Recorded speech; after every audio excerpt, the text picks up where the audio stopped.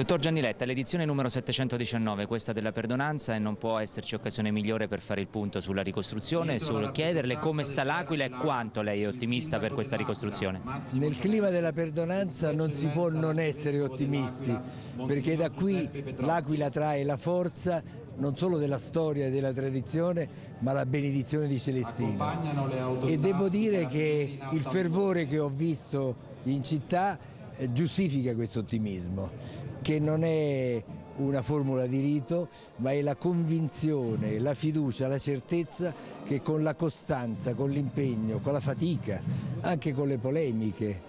che sono il sale della democrazia, si possono risolvere tutti i problemi, molti sono stati risolti, altri li risolveremo nei prossimi giorni e sono sicuro che la fase avviata della ricostruzione potrà conoscere una ulteriore accelerazione e si potrà magari alla festa della perdonanza dell'anno prossimo dire che finalmente dopo cinque anni l'Aquila risorge. Possiamo dire allora in via ufficiale la ricostruzione questa volta è partita per davvero? Direi proprio di sì, anche se rimane il tema enorme dell'ulteriore risorsa finanziaria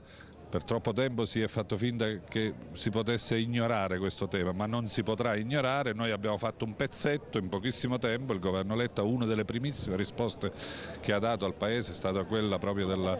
della, del non far fermare, anzi di accelerare la ricostruzione all'Aquila. Adesso bisognerà reperire ulteriori importanti risorse, una sfida importante per il Paese, non per l'Aquila, per, per il Paese, per l'Italia intera. Questa era una questione di rilevante importanza, straordinaria straordinaria, del tutto epocale, non avrebbe dovuto essere gestita tornando all'ordinarietà. L'ordinarietà esalta la burocrazia, l'ordinarietà rende molto più difficile eh, e tant'è vero che a mio modesto parere insomma,